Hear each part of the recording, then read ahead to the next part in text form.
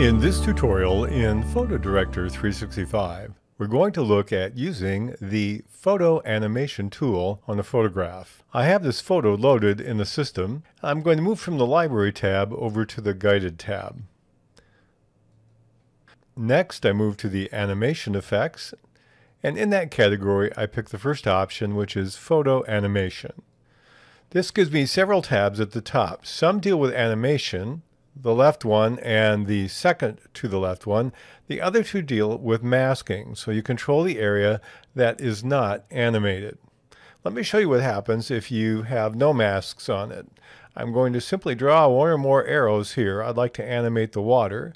And then when I click the play button, we find that everything moves with the arrows. We'll stop that. To remove them, you click on any of them, right click and choose delete, or you can simply clear. I'll do that right now.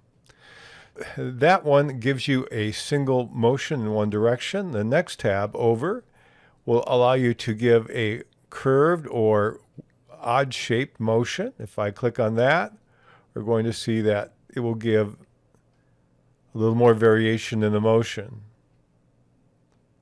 So we'll stop that and clear it out. So in most cases, you only want part of the image to be moving because it looks rather strange if it all is. So you have two tools to limit what is actually moving. We'll click on the third tab and we have this pin. This gives you anchor points that keep still.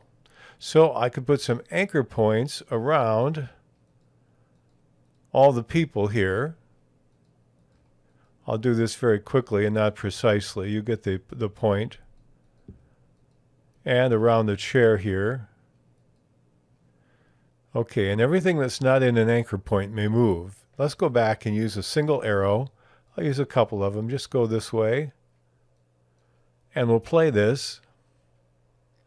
And now we see we have movement, but it doesn't contain much inside the anchor point. Now, if you notice very carefully, if we look up here, I'm going to zoom in, we have movement on his upper face and nose. Because even though you're using this kind of tool, it's not totally precise. It doesn't prohibit all of the motion that you might see. And I found that a little bit disappointing. But let's clear this and look at the other way you can do it. The other way you can do this with this tool here is actually called freezing, but you basically build a mask. If you're familiar with uh, Photo Director, you know that we do a lot of masking in Photo Director.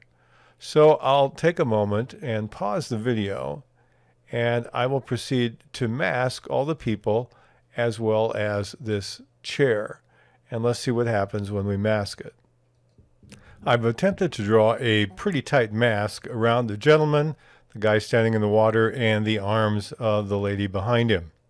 So let's see what happens when we go back to our tools and we try to add motion in different places where we're trying to make it look like the water is moving. And we play this. We do have motion in the water, but you notice we still have a little bit of motion around the individuals, even though they're masked. So I found that this tool, even though it, it helps, it, it doesn't eliminate the oddities of that. So if you only want part of someone to move, you have to be very careful. Let's try one other thing. And what I'm going to do is stop this. And let's see what happens if we take these, these points and move toward the mask. And I'm going to take this one and move and delete it completely. These small ones. And now see what happens. We'll play this. Well, it's still not what I want. You notice a change over here. We have a change over here by the guy's leg, a little bit coming off the back of the neck and also off his back. So if you want precision with this tool, it's not quite there yet, but let me show you what else you can do with it. Let's assume for some reason we're happy with what's going on here. We've added a bunch of these controls to make it look like the water's moving, and now we want to produce a video using this there is an option on the left called background music. I'm going to click on that. And then if I click on the three buttons, it lets me pick the music. Now there's several kinds of music that come default.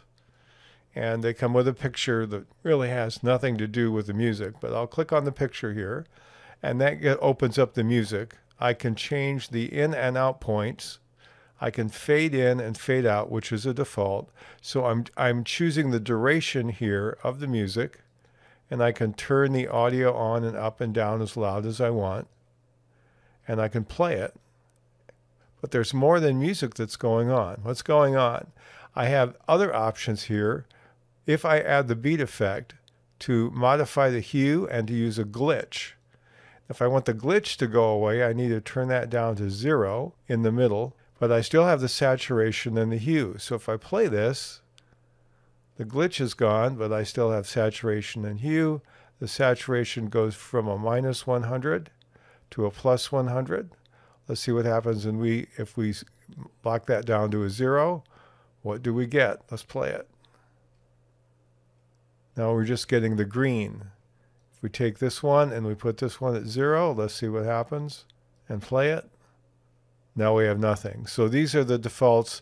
You can choose to have a hue on either range of the slider, a glitch or a saturation or all of them. And they will do that to the beat. Let's, let's go back to just saturation only. There will be a beat to the music and that's what you will get as a result. I want to mention one other thing. There's My Music. There's a tab called Store. If you click on Store and you've downloaded any options, audio beat effects, uh, you will find them here. And if you want more in the store, you click the down arrow.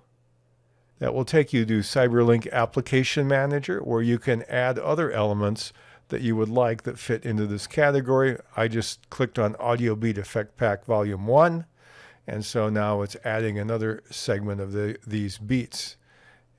And then I can close that out when I'm done. But let's assume we're happy with what we've done in this case. And I'm going to click on OK. Now the option on the lower left corner is to produce. We'll click on the produce button. And here we have a place where we can send our file. We can produce it as a GIF, a WMV, or an MPEG-4. We can choose our aspect ratio. We can choose the size. Then when we decide to produce, we've got a duration.